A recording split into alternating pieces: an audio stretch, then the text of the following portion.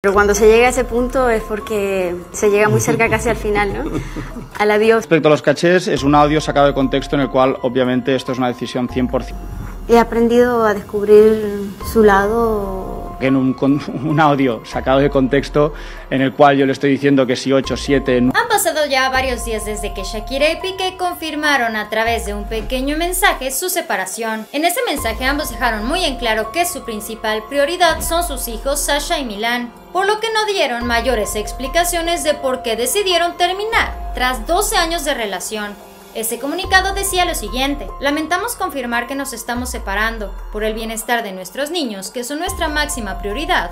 Pedimos respeto a la privacidad. Gracias por su comprensión. Al haber confirmado su ruptura, los fanáticos de Shakira y Piqué han encontrado supuestas pruebas que demuestran que la relación entre ambos ya venía en declive desde hace un buen tiempo. Y es que la cantante colombiana le estuvo dedicando muchas publicaciones en redes sociales a Piqué y en pocas palabras, él la dejó en visto en todas las ocasiones. La última publicación sucedió hace tan solo tres meses. Piqué había cumplido 600 partidos de fútbol jugados y Shakira no perdió la oportunidad de felicitarlo. El 16 de marzo, Shakira en su cuenta de Instagram escribió, 600 partidos. No creo que haya realizado jamás 600 conciertos. Tus logros no tienen precedente alguno. La historia es un continuo presente y tú estás aquí para seguir forjando la tuya, la de tu club, la nuestra y la de generaciones futuras. Estás hecho de un material que solo Dios conoce y para mí eres el mejor ejemplo de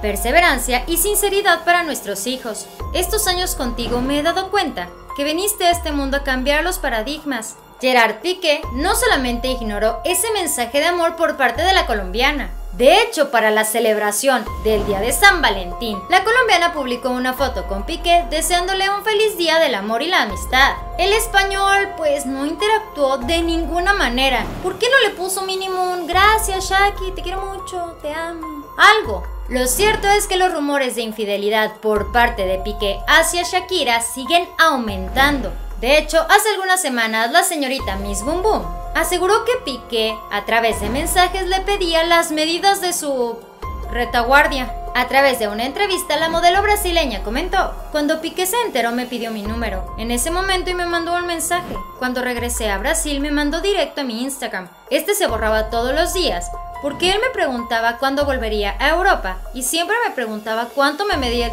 cero. Por otro lado, también se rumora que el jugador de fútbol mantiene una relación sentimental con una mujer joven que conoció en un bar en Barcelona. Lo cierto es que en esta historia del rompimiento de Shakira y Piqué han empezado a circular todo tipo de especulaciones y noticias. De hecho, últimamente en el programa El Gordo y la Flaca se dijo que Shakira contrató a una agencia de detectives para seguir a Piqué y que lo cacharan en plena movida. A pesar de que esta es una especulación bastante grande, ni Shakira ni Piqué han salido a negarla, pero tampoco la han aclarado. ¿Cuáles serán los verdaderos motivos por los cuales ellos le pusieron punto final a su historia de amor tras 12 años juntos? Este fue el Moro de la Fama. Dale like a este video, suscríbete y síguenos en Facebook.